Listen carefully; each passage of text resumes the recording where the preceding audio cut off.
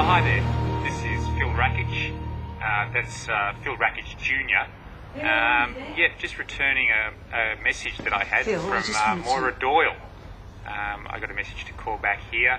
So, yeah, I'm at home now, so give me a buzz. Bye.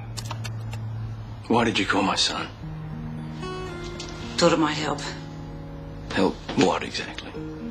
Well, I thought if I could get you and your son back together. I don't know. I thought it might be good for us. You went behind my back. I was just trying to give you what you want. It's not that easy.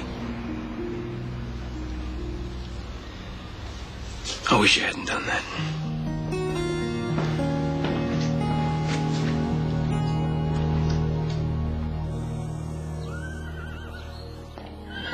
Well, so much for that idea.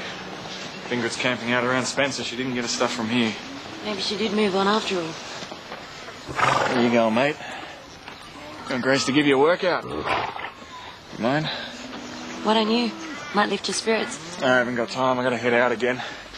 Marcus, before Ingrid left, What?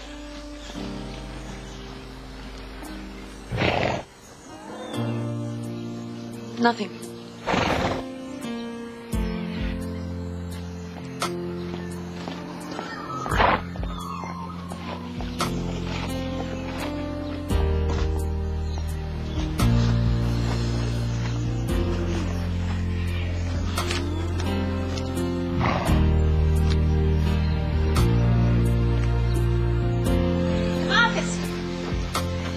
I was just thinking if if Ingrid left Spencer that night, probably hitched. She could be anywhere. She left you a note What? under Rocky's saddle.